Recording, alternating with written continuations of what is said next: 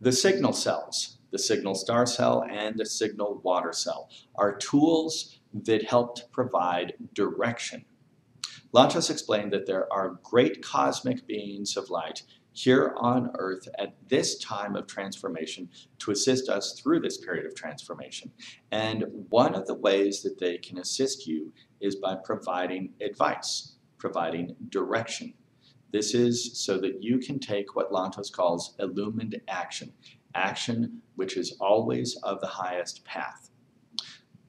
These tools, each one individually, will be used by you to provide answers to various questions. These questions can be about anything, ranging from job opportunities to directions you go in life to simply which wheels you should be using in a biogenesis treatment session.